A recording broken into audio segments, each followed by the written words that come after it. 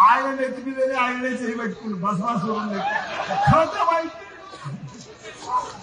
కైలాసంలో పాము మింగితే అది కొట్టడే ఇంటికి గుండెకి వచ్చింది ఇప్పుడు. ఆయన పెద్ద పైల్వాన్ పెద్ద దాదా. పెద్ద గుండా.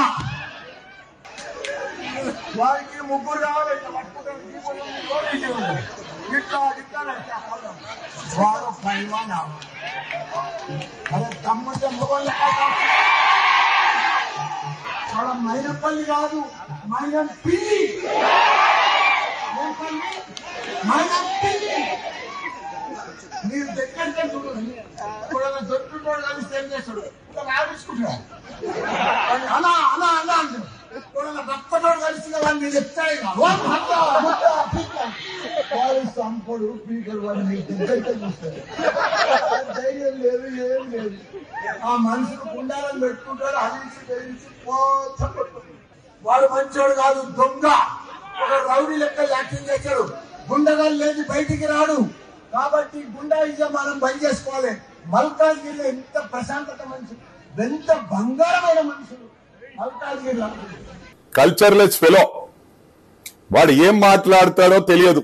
మళ్ళా ఏజుకు గౌరవించాలంటాడు. ఏజ్కు తగ్గట్టు బిహేవ్ చేయాలి. నన్ను రెచ్చగొట్టకు ఎందుకు రెచ్చగొడుతున్నావు? నీ స్థాయి నా స్థాయి కాదురా బచ్చా గాని నువ్వు పాలిటిక్స్ లా నా గురించి మాట్లాడుతున్నావు కామన్ సెన్స్ ఉండి మాట్లాడుతున్నావు లేదో. నేను master of all jack of all రా. Useless fellow. చెత్తనా కొడుక నువ్వు ఎంపీ ఉన్నావు ఏం చేసావు చెప్పురా అంటే మైనంపల్లి గురించి మాట్లాడతావు ఏమరా బఫూన్ మంత్రి నువ్వు ఒక అంగుటా చాప్ నా కొడుకువు. నా గురించి మాట్లాడతావేమ్రా దమ్కిచ్చుతా ఉంటావు. ఓ డాన్సులు తప్ప యూజ్లెస్ ఫెలో నీకేం రావు. పాలమ్మినా పూలమినా అంటావు. నీకేమైనా ఉందారా? సబ్జెక్ట్ ఉందారా అసలు? మంత్రి ఇచ్చింది నా గురించి మాట్లాడుతుంది కదా. ఫస్ట్ నీ ముఖం చూసుకోరా గాడిది ముఖం రా నీది. ఒక్కసారి నీ ముఖాన్ని అద్దంలో చూసుకో. నీ ముఖం నీకే నచ్చుతుందా అని. మల్లారెడ్డిగా చెప్తూ నేను. అనుడు కూడా నాకు ఇష్టం లేదు కానీ అనాలరా నువ్వు చేసే పనులు